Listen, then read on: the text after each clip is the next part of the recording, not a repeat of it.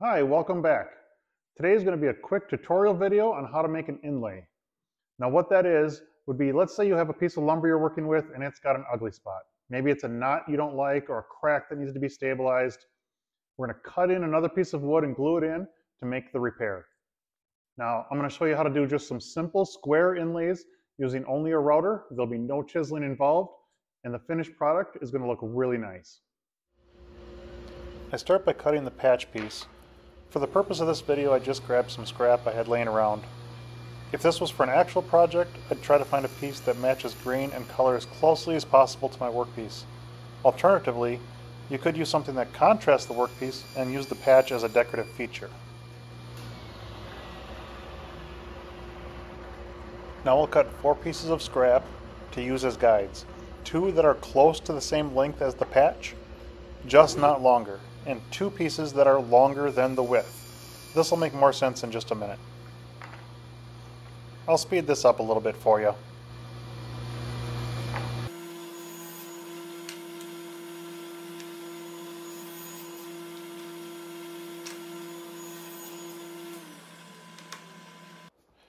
Now we're going to round off the corners of our patch piece using a quarter inch round over bit.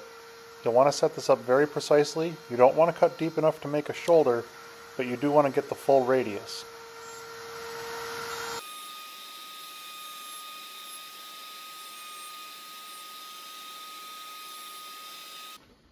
For this video I just grabbed an extra piece of poplar I had laying around. I'll just cut the patch in on one end. Set the patch wherever you need it to be, and then figure out your orientation of the guide pieces around it.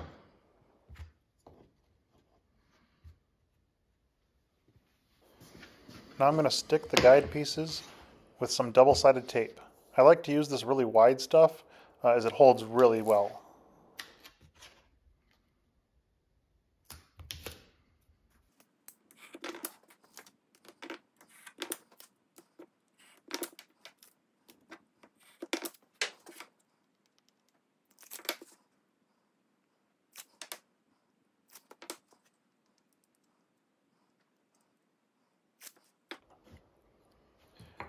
Now we're going to start sticking the guide pieces down around the patch piece. Just make sure as you're sticking them, you're holding them really snugly against that patch piece.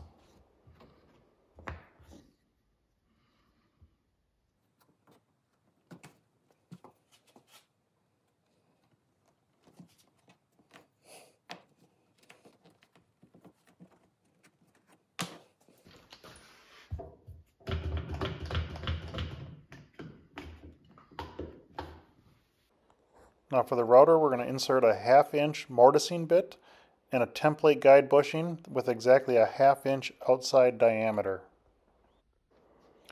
Now we're simply going to remove the material inside of those guides.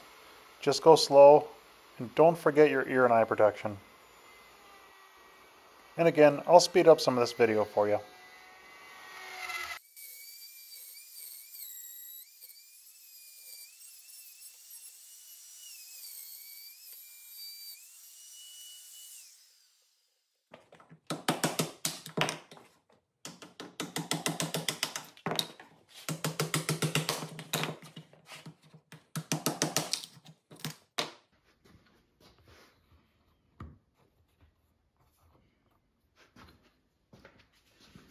My fit ended up being a little too tight, so just a little bit of light sanding is all it needs.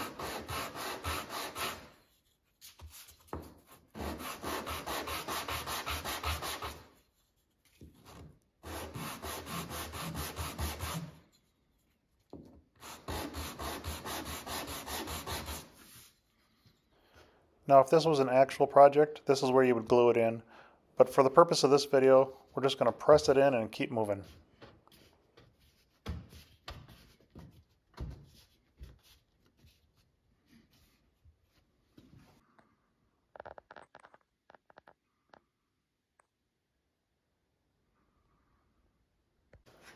Now I need to remove the excess material.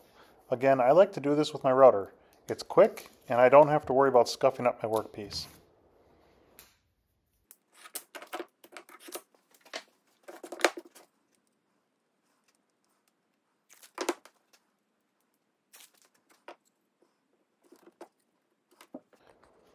Now we remove that template bushing and insert a 1 inch straight bit. Set the router depth so that the bit doesn't quite contact the workpiece. Then lock your depth gauge so that you don't accidentally cut too deep.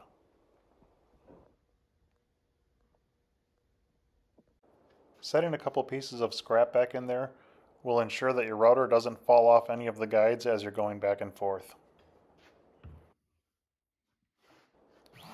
I would suggest making these cuts little by little rather than taking the entire depth at one time. It's less likely to chip that way.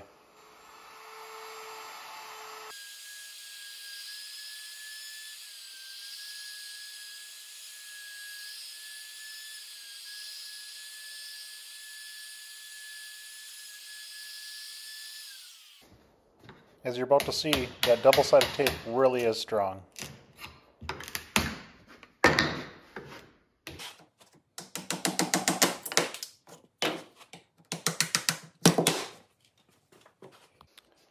Now we've got just a little bit left and we're going to clean this up with the sander.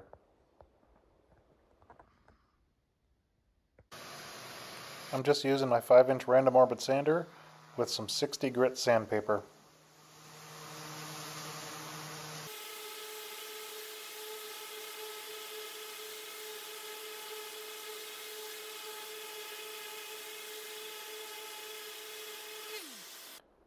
Now you'll see I did get a little chipping and if I had glued this, there'd be a little glue in that, and I would just rub some sawdust in there, and it'd be a perfect blend.